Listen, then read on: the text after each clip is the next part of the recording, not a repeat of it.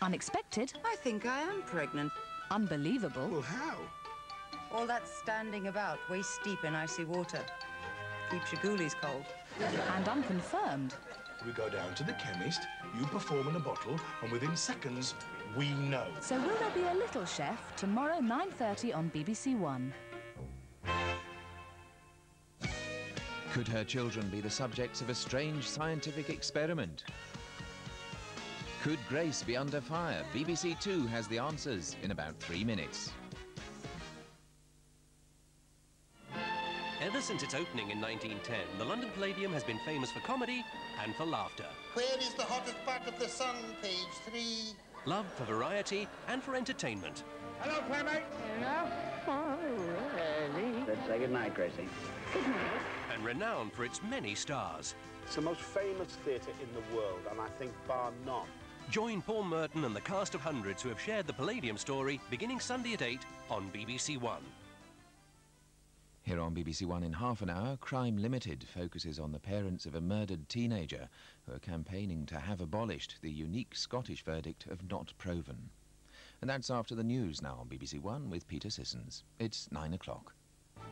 The man accused of killing Rachel Nickell has been freed after the case against him was savaged by an Old Bailey judge. Colin Stagg heard the judge accuse the police of blatantly trying to trap him into confessing. Six people have been killed by the collapse of a walkway at a Channel ferry terminal. And a significant advance in the treatment of breast cancer. Scientists have isolated the gene that causes it to be inherited.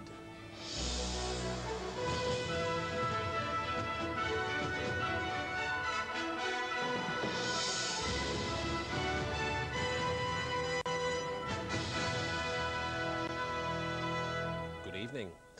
The man accused of the brutal murder of Rachel Nickell on Wimbledon Common two years ago today walked free from court before the trial proper had even begun. The judge at the Old Bailey threw out the prosecution case after days of legal argument without a jury. The case against the accused, Colin Stagg, depended on the evidence of an undercover policewoman who had befriended him. Today, Mr Justice Ognall said the police behaviour betrayed not merely an excess of zeal, but a blatant attempt to incriminate a suspect by positive and deceptive conduct of the grossest kind.